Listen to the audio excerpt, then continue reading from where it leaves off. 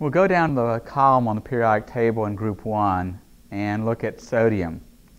Like the lithium, the sodium is stored in a mineral oil to minimize reaction with the oxygen in the air.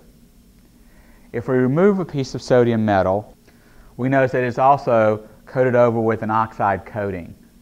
Group 1 metals become softer as you go down the column.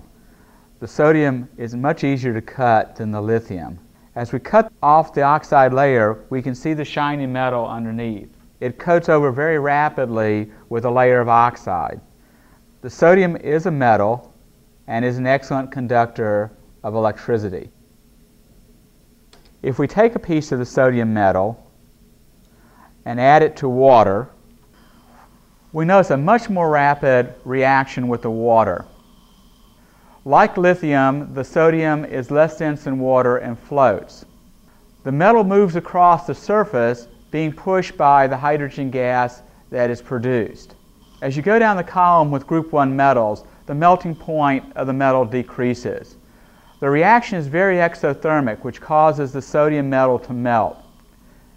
The metal contracts into a very compact spherical form.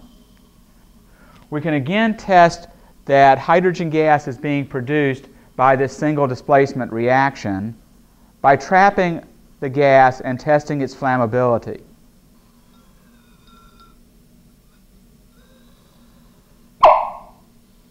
We can test for the fact that we produced sodium hydroxide by adding phenolphthalein.